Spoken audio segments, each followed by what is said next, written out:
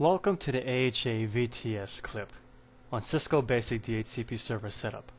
My name is Aleem H. Ali and I'll be your host to this video tutorial series. Now DHCP is Dynamic Host Configuration Protocol and it is used to assign IP addresses automatically to end workstations as shown in my diagram here. This greatly reduces network administrators' overhead by removing the painstaking task of manually identifying IP addresses with each and every workstation, especially in medium to large businesses where you have over 50 users. In this situation, we'll be using a Cisco router to do the same functionality of a standalone DHCP server that may reside in your network. The first thing we'll do is to identify the pool range of IP addresses that we want to use. In this case, we'll be using the network 12.11.5.0 with a slash 24 notation for these end stations on this diagram here. Next, we want to configure an IP exclusion list to remove the IP addresses of those interfaces and or devices that we do not want to assign to our workstations. And in this case, again, it will be this interface on this router with a 5.1 and this web server that I'm going to label here and this DNS server of .5.2 and 5.3 respectively. We're also going to list the NetBIOS server for name resolution on this network for NetBIOS, I'm sorry, for NetBIOS name resolution, as well as assign an IP address for the domain name servers for domain name resolution on this network, and to assign a default gateway or default router for these end stations on this access layer to communicate outside of its local area network across this router to any other network, whether it be another WAN link, another network, or the internet. So, let me pull up my Teraterm prompt here, and we'll begin. The first thing we'll have to do is get into config configuration mode. From here, we'll type in IP DHCP pool and we'll give it a name. In this case, uh, we'll call it VA, the AHA VTS for the AHA VTS series that you're watching right now. this will get us into DHCP configuration mode. And I'm going to bypass this first step, uh, the step underneath here, um, exclusion range. We'll leave that for last. But let's configure the um, the range of IP addresses. We'll do so by issuing the network command, uh, network command, followed by the IP address of the network, which is 12.11.5.0, and a question mark. Uh, we can either use the uh, the dotted decimal notation for the subnet mask, or we could do the slash notation. In this case, I'll do the slash notation of 24. Next thing we'll configure is the NetBIOS uh, server. We'll type in netbios if it can work for me. Oops. Let's take a look at our commands here. Ah, there it is. Is netbios name. So we'll go into netbios name server followed by the IP address 12.11.5 oops 5.3 Next, we're going to configure the DNS server, which can also have the same name. We'll configure that as 12.11.5.3. We won't configure the web server, but that IP address will be eliminated from our uh, pool range to be given to our end users in the exclusion range list. Next, we're going to configure the default gateway or the default router. In this case, is 12.11.5.1. And that's it for DHCP configuration mode. Let's get back into configuration mode quickly and configure this IP exclusion list. For some reason, I have no idea why this exclusion list is not located within the DHCP configuration submode. But either case, we'll type in IP DHCP exclude address followed by the question mark.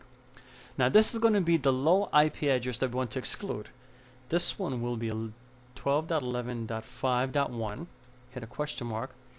Uh, the high IP address. Well, I'm going to type in 12.11.5.15 just to be on the safe side if I want to add any more servers statically on this network that I don't want that IP address to be given out to my end stations. So in this case, my range will be from uh, 5.1 to 5.15. And I'm going to hit enter. Let's take a look and see how this is in the show run config. You'll notice that I have my, let me just scroll up a little bit more. You notice that I have my IP exclusion list from 5.1 to 5.15. We have our DHCP pool as AHA VTS, Video Training Series.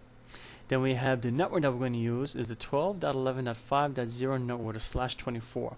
Now that gives us 255 users, oh, uh, IP addresses that we can use, but we're only going to use, well, basically from .5.16 to 2 uh, to 12.11.11.5.254. We have a named uh, NetBIOS and DNS and a default gateway. The next thing we'll have to do, let me just scroll down a little bit, is to enable our interface. Now this Ethernet interface is the interface currently located right here that connects to our access layer switch for IP addresses that will be given to these end workstations here. So let's configure that interface right now. We're going to go into config T mode, interface Ethernet slash 0. Configure the IP address of what? Any idea? We'll configure 12.11.5.1, 255.255.255.0. We're going to do a no shut on that. And that interface should be up to communicate with this access layer workstation. So the next thing we'll have to do is actually see, well the thing is, let's back up for a second. What IP address do you think that if I initiate a connection to a host on this network, on this switch port here, what IP address do you think would be the first one? Well, in theory, the first one should be 12.11.5, oops, put those dots there, dot 16 for the first available IP address that we have listed via our, let me scroll up a little bit here, from our exclusion range of 5.15, the first one should be 16. And in order to confirm that, I will open up my network uh, connection prompt here. Okay, go into my local area network, and I'm going to enable that. So it's going to be enabled, and we will see right here the IP address that it will assume in a few moments. We'll take a look at the switch quickly and see if the switch port is up. The switch port is up is amber is going to turn green in probably about 10 seconds. In that time, I'm going to pause the video until this interface comes up. Whew. It took a little over 20 seconds from the time this interface connection uh, connected back to the switch and for that interface to communicate with the router to get the IP address. And lo and behold, the first IP address that it got from the DHCP server is what we expected 12.11.5.16 with a 24 bit subnet mask. To ensure that any more of our configurations have taken effect, let's right click here and go to status. Oops, I'm sorry, I disabled it by accident. Go pause the video until that comes back up. Wow, eventually it came back up. It took forever this time for it to come back up after being disabled. But nonetheless, let's go into status without hitting disable. Go into support and the details and let's take a look here. Notice that the default gateway is 12.11.5.1 and our DHCP server is also 12.11.5.1. We configure those interfaces, remember, respectively with the uh, DHC with the uh, default router command, and the DNS server has taken to be 12.11.5.3 as we inputted it. In this tutorial, we follow the basic concepts on how to set up a DHCP server with a Cisco router. We configured an IP pool range, its exclusion list, NetBIOS server, a DNS server, and a default router. I hope this clip provides you some insight, and I'd like to thank you for viewing.